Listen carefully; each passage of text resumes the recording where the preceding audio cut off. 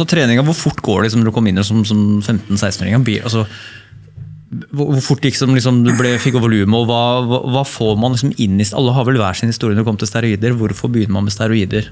Jeg begynte med steroider fordi jeg har alltid hatt en drøm om å være skuespiller. Som jeg sa i stad. Det er ikke noe jeg kom på når jeg var bare 20. Liksom. Jeg har alltid hatt lyst til å holde på med TV og film og modell og sånne type ting da jeg var yngre. Mm. Og jeg blæsta og så på Mark and Mark and The Good Vibration og den gjengen der og bar overkropp og sånn. ikke sant? Mm. Og så og så trente jeg veldig mye, ble bitt av basillen, for jeg responderte veldig bra. Og så var det da kompiser av meg som eh, hadde eldre brødre som brukte masse varer. ikke sant? Så så vi hvor bra det var. Og så var det ikke internett sånn som nå, ikke sant? så du fikk jo faen ikke noe info om dette her. Mm. Og når du snakker med de gutta, liksom, ah, det går fint, og det det lille leste på nettet, var liksom ikke noe, det sto ikke så mye om det der. ikke sant? Så da bare begynte vi. da. Mm. Så husker jeg gikk og gleda meg i flere måneder til jeg skulle sette min første sprøyte. Og så husker jeg satt i en jævla sprøyte av meg og kompisen min husker jeg følte Vi, liksom, vi satte på hverandre. da, Satt i helt feil dose alt sammen.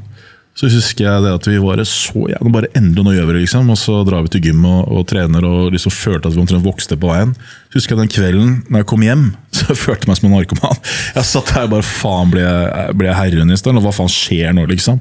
For jeg var jo, følte jeg gikk over den der streken, ikke sant. Hva var det for noe?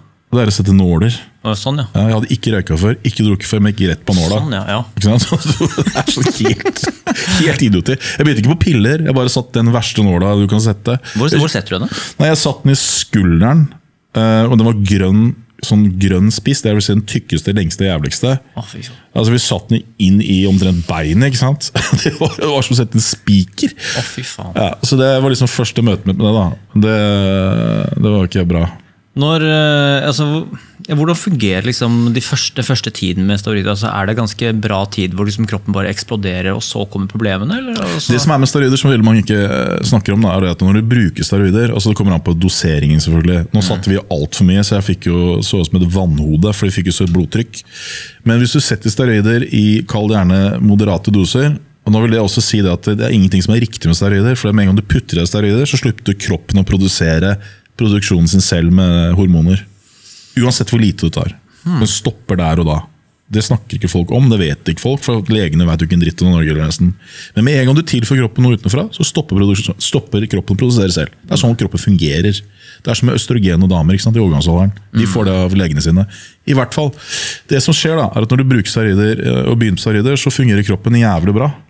Du kan sove mindre, du orker å spise mer, du har høyere forbrenning, du er mer kvikk, du orker alt. Det er en grunn til at toppidrettsutøvere bruker steroider. Mm. De gjør ikke det for å bli dårligere, de gjør det for å knuse motstanderen.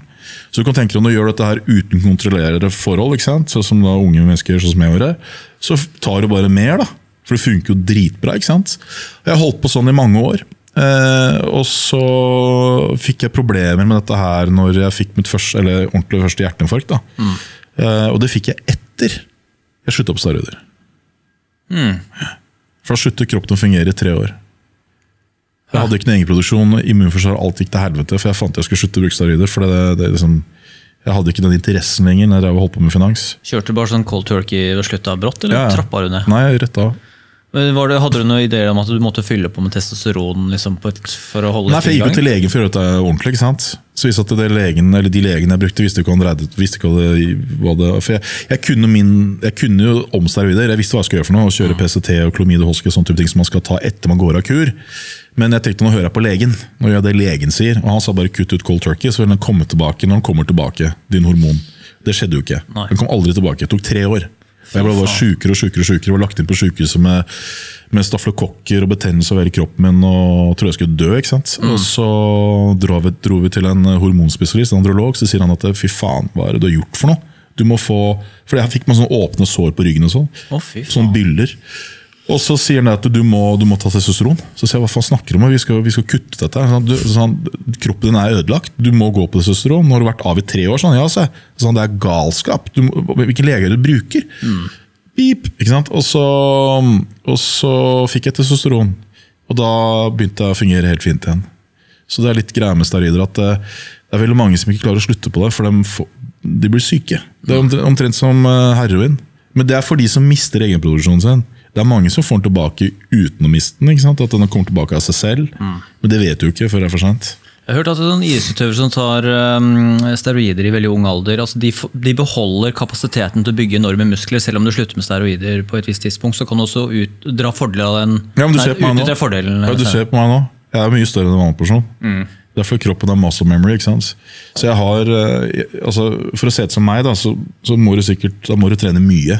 Jeg trenger ikke trene så mye, for det, kroppen har vært svær før. Så når jeg trener, så bare blåser det opp med en gang. Men uh, hvis du er lazy et par eh, uker og måneder, da blir det fort uh, mye fett og sånt? Eller, eller vann? Eller, uh, ja, så jeg blir slapp ut av turen og tømmer seg for væske, og sånn, så jeg blir jo sånn småpløsete. Men eh, ikke noe mer enn det. Nei, det, er, det er interessant. Men så også er det Det var en sånn detalj som en sa til meg at det er sånn typisk for eh, de som har stått steroider i ung alder, at i eldre alder så blir at det er mellom mellom fortenna. Nei, det er mange som Er det myte? Det er myte. Det som de hen, eller liksom hentyder, er da folk som har brukt veksthormon. Da Mm. vokser mm. alt. Da kan kraniet vokse, og alt kan jo vokse på veksthormoner. ikke sant? Og Det har jeg også tatt ganske mye av. Okay. Og Derfor jeg har også et for svært hjerte. Hjertet mitt er for stort. Det er større. Den har vokst. I dobbel betydning. Ja, er, ja, faktisk. Den har blitt større. Så det er pga. veksthormon. Eh, og eh, da kan man si det at eh, enkelte av disse profesjonelle bodybuilderne har fått mellomrom mellom tennene, for det har liksom gått utover. Det er det de sier, da. Men Jeg vet ikke om det stemmer. Men hvis du tar mye veksthormon, så vokser alt. Hender, hjerte, alt kan vokse. Du må kjøre enorme doseringer. da. Hvor vanlig var det her, da? Å kjøre veksthormon? 90 000 dollar? Altså alt, Alle alle? alle som var svære, brukte dette. her. Det var jo ikke ulovlig. Nei. Var det Husk ikke på, det? nei, nei, nei, nei. Det ble ulovlig i 2011, tror jeg. Det er hele poenget her, er at uh, når jeg begynte på steroider, så, så, så var det lovlig. Du hadde ikke lov til å kjøpe eller selge, men du uh, kunne, kunne bruke. Og jeg fikk det også av uh, Når jeg jobbet utlandet som sånn fitnessmodell, og all den dritten her, så fikk jeg det der også.